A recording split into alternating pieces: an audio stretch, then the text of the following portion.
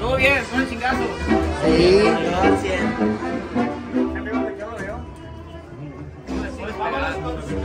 Cinco minutos, chicos, ¿eh? Porque tienen que ensayar. Déjense caer con lo que. Chicos, con lo que traigan, ¿eh? pues bienvenidos. ¿Cómo se sienten en regresar aquí a Monterrey? Estamos bien contentos, Diego. Fíjate, la verdad, Monterrey fue la tierra donde picamos piedra, Rafa y yo nos tocó estar en bandas locales trabajando. Ahora volver a Monterrey con la banda de nuestros amores, que es la banda los Recoditos, con toda nuestra gente regiomontana. Teníamos muchas ganas, viejo, no te imaginas cuántas, de venir a traer nuestra música y por fin nos hizo el 11 de octubre. Creo que va a ser una fecha que va a quedar por la eternidad, viejo, con el show de la banda los Recoditos esta noche. ¿Qué sorpresas nos tienen?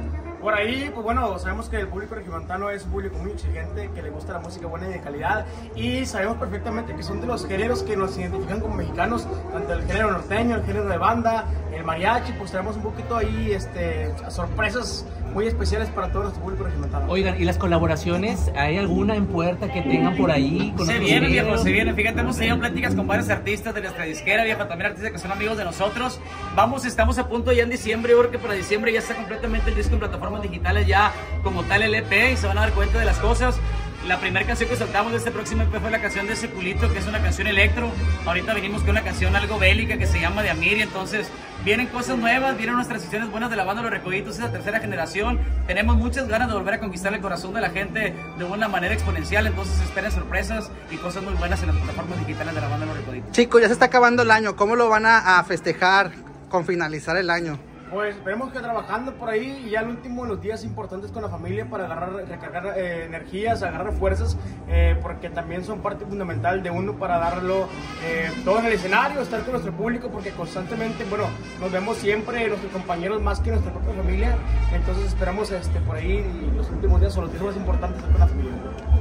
Oigan, y por ejemplo, canciones navideñas, eh, obviamente interpretadas al ritmo de banda, ¿hay alguna propuesta o algo que se Hay una sorpresa, viejo, que la verdad creo que a mi ver, en lo personal, nos quedó magnífica, viejo. Este 12 de diciembre van a estar dándose cuenta de qué se trata a través de las redes sociales de la banda Los Recoditos, porque hicimos una canción muy bonita, con mucho corazón, una canción nada fácil adaptarse al, al género de banda, pero lo hicimos y la verdad, de hecho, estábamos platicando en la comida de la tarde con el director musical de hacer eso, viejo. La verdad, tenemos ratitos sin hacer un disco tal vez navideño, un disco tal vez de canciones de diciembre.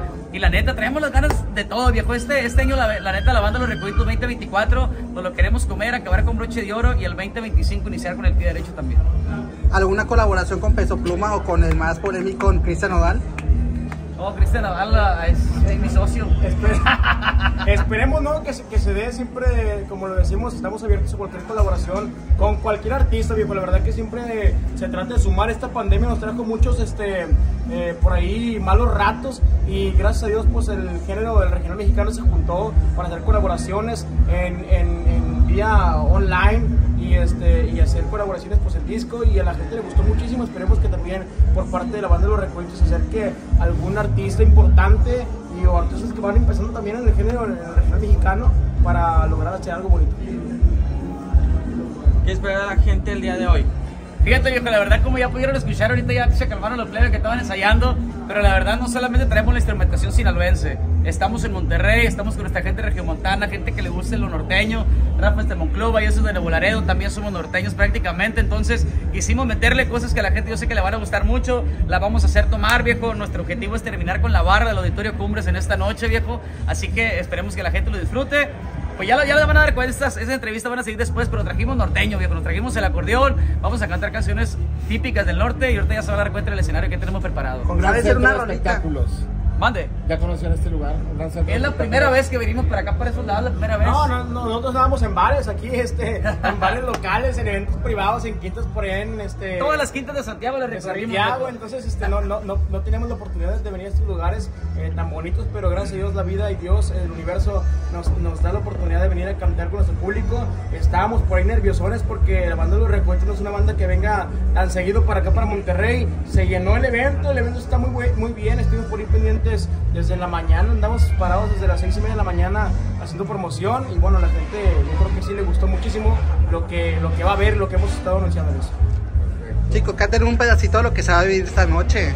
Ahí va, viejo. Esperemos, la verdad, todos nos vayamos de este lugar diciendo: Ando bien pedo, bien loco, cantándole al recuerdo mis penas, pidiendo tu regreso y tus besitos, gritándole al olvido, maldito.